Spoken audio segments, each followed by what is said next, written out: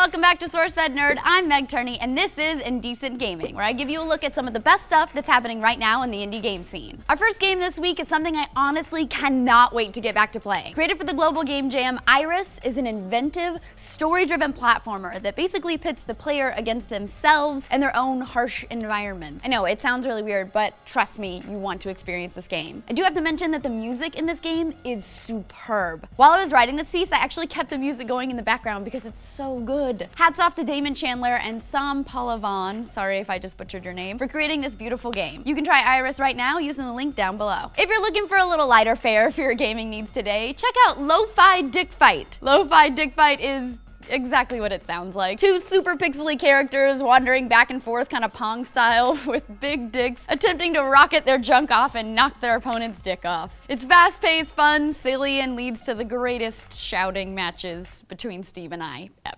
Wrapping up today's festivities, a new challenger has entered the game. Well, it hasn't actually entered yet, but it will, soon, with your help. Olympia Rising from Paleozoic Games is currently looking for Kickstarter backers, and one of the early trailers looks really encouraging. Features all retro graphics and all sorts of flippy, fun, slicey dicey. It looks amazing. Check it out in the description down below and back it if you feel so inclined. So guys, that's it for IndieCent Gaming. Which one of these games will you be playing? And also, how great of a title is Lo-Fi Dick Fight? The best? Probably the best. You can like and subscribe if you haven't already. Click this annotation down here. Check out the For Human Peoples channel because I always have something good going on. Or sourcefed.com to see everything we've ever done. I'm Meg Turney. Lo-Fi Dick Fight!